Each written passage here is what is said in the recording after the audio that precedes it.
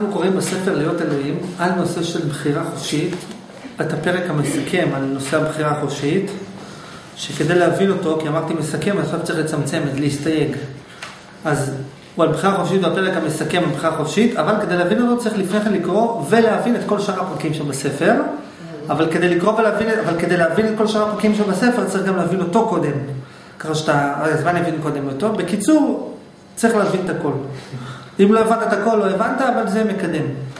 זה כמו בניין. אוקיי, אז חלק ראשון, עמוד 166, בחירה חופשית, חופש הבחירה, יש או אין. זה תמיד מתחיל מהשאלה, יש או אין. כאילו, וגם נגיד שיש חלקית, אז אתה אומר, טוב, תגדיר לי איפה יש ואיפה אין. זה תמיד בסוף נכנס ליש, אין. פה יש, פה או שאין, או שיש, או שפה יש, פה אין. תגיד לי מה תחום הבחירה החופשית שלי. זאת שאלת המפתח. שהיא לדוגמה הובילה אותי לאיפה שאני. אני פשוט אמרתי לעצמי, אם אתה כל כך חכם, אז, ויש לך בחירה חופשית, זה מה שידעתי, אז תבחר להיות תמיד שמח. רק שם לא יכול. אתה אומר, רגע, אבל אני לא טיפש, אני מכיר את השיטה, ולימדו אותי את כל השיטות. חשיבה חיובית, מה שאתה רוצה, תבחר, נו, הנה, מה פעם, תסתכל על החצי המלא. לא יכול. למה אתה לא יכול? אבל יש לך בחירה, לא מסוגל. מה זאת אומרת? אבל אני רוצה להסתכל על מה, אני טיפש, אבל אני רוצה להיות מאושר, נכון? הרצון הראשון זה להרגיש טוב. אתה אומר שאתה רוצה להרגיש טוב, זה הראשון? יש לך בחירה? תגיד, אני תמיד מרגיש הנה, מצאנו את השיטה. לא מסוגל, למה לא? אז אתה מתבונן פנימה, רגע, למה אני רוצה, מה אני רוצה, מי מחליט, מי קורא? אני אקרא. קרא. בחירה חופשית, חופש הבחירה, יש הורים. עמוד 166, כן, בוא נתבהר. ובוא נתבהר עניין הבחירה החופשית. ונתחיל מהסוף. כי הסוף הוא שאין שום הבדל. בין יש בחירה לבין אין בחירה. כי כאשר הכל אחד אין שום שינוי כלל, אז ממילא לא שייך שום יש או אין בחירה, ולכן אין שום שאלה כלל. וכעת נתחיל לבאר את הדבר מתחילתו לסופו. אז קודם כל זה אומר לך, תדע לך, אתה אומר, מה תהיה התשובה בסוף? תמיד אתה מסוכן לדעת, טוב, מה כתוב בסוף? כל. יאללה, יש או אין בחירה? מה הוא גילה בסוף?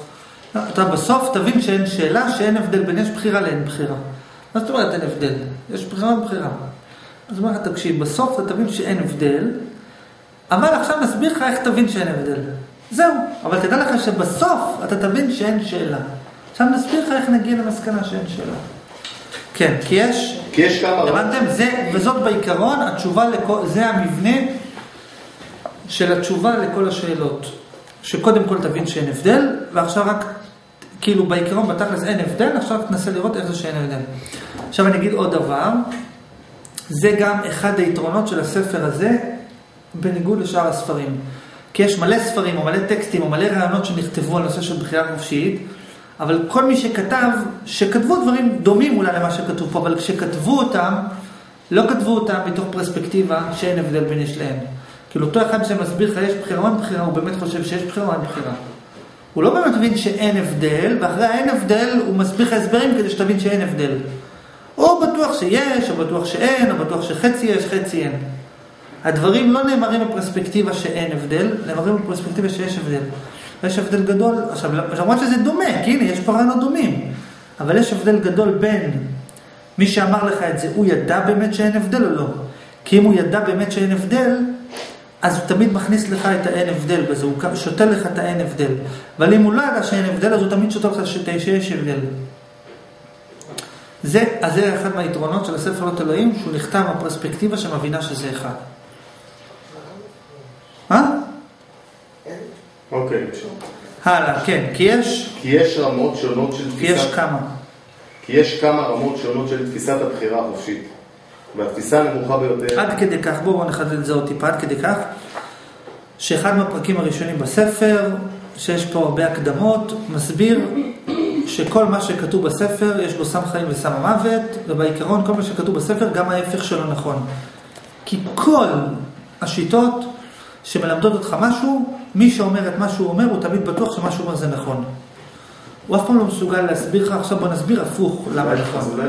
תמיד נאחזים בזה. עכשיו פה, הדבר הראשון אומר לך, תדע לך שאתה לא אמור להסכים למה שכתוב פה, אתה לא אמור להאחז במה שכתוב פה. אתה אמור בסוף להבין את זה ולהבין את ההפך של זה. זה רק צורה לעזור לך להבין את ההפך. עכשיו אין את זה, כי תמיד כשמלמדים הוא אומר לך, זה האמת, זה האמת, זה האמת. אני אומר לך, זה לא האמת, וזה לא האמת, וזה לא האמת, אני אסביר לך למה אף אחד לא האמת. וכולם האמת. אם, שהכל אחד, שאתה תבין שזה אחד, שלא יהיה אצלך בראש הבדל בין הדעות השונות. זה פרספקטיבה אחרת, זה לא פרספקטיבה של אה, היאחזות בקרקע. מי שאוהב להיאחז, זה הסיבה שאנשים קצת אה, נרתעים הרבה פעמים. כי אנשים מחפשים את האחיזה. ופה אתה משחרר את האחיזה. בסדר, אני רק אומר שזה בפרספקטיבה, כי אני אומר, תתבוננו. כשאנשים אומרים משהו, הם בטוחים שמה שהם אומרים זה נכון. הוא כאילו מנסה לשכנע אותך שבאמת אלוהים אמר, או באמת אין אלוהים. הוא לא מבין שזה רק צורה שונה של אותו דבר. והוא באמת באחוז בהגדרה שלו, אבל זה שכל מצומצם, יש שכל אחר שמקדם לך, כל מה שאני אומר לך ההפך שלו נכון. אל תאחז, תתבונן ותיסע הלאה, למעבר. כן, כי יש... כי יש כמה רמות שונות של תפיסת הבחירה החופשית.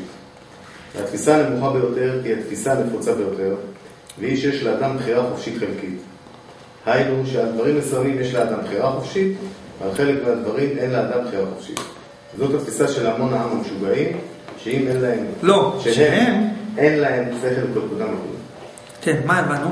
שזה הבחירה הנפוצה, שבן אדם אומר שיש לי בחירה, אבל... יש רמות, יש פרספקטיבות שאתה מסתכל על הבחירה החופשית, הרמה הכי נמוכה זה שאתה אומר, יש דברים שיש לי, יש דברים שאין לי.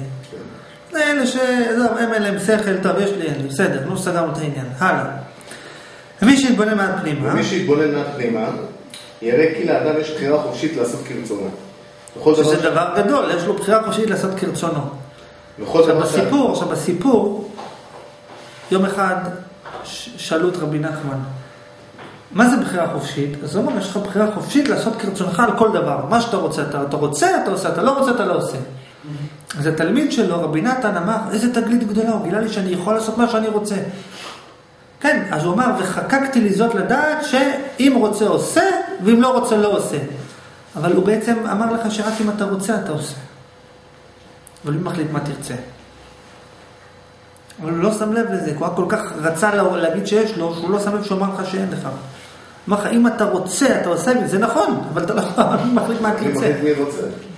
כן, כן.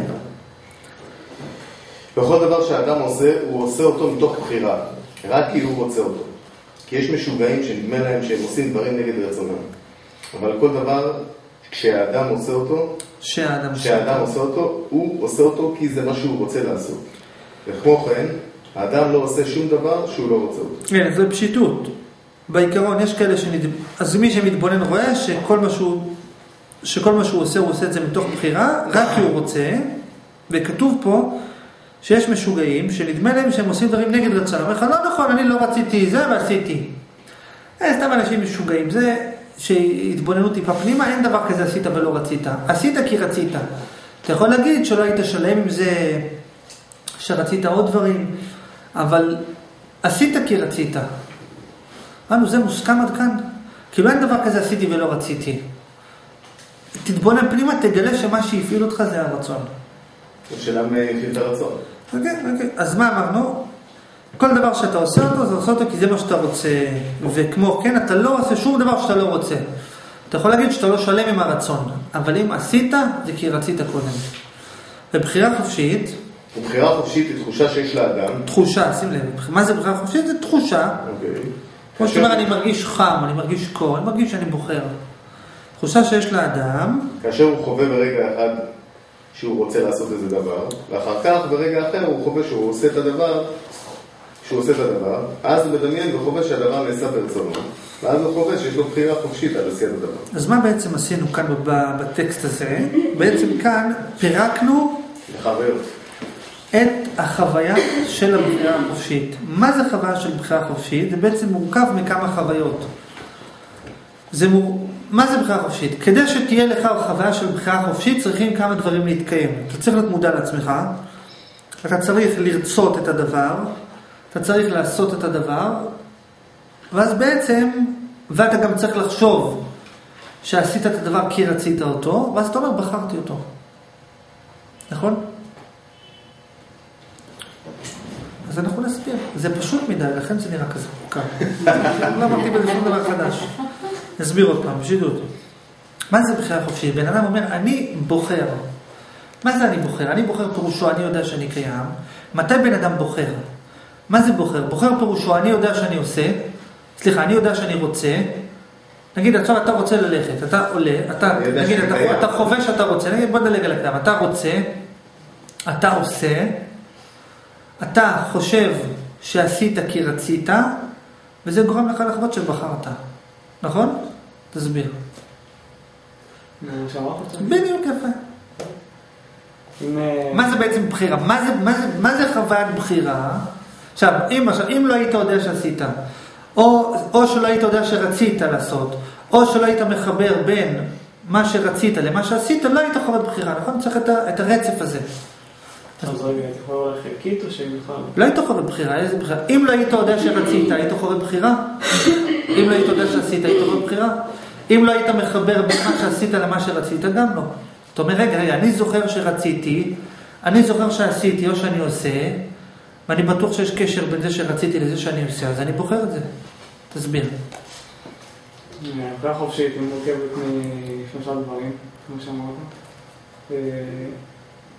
קודם כל אה, צריך להיות אה, תודעה שאני קיים, אחרי זה צריך שיהיה לי רצון, את הרצון, נכון, טוב, אתה מודע לכך שאתה רוצה להרים את היד, נגיד, אוקיי.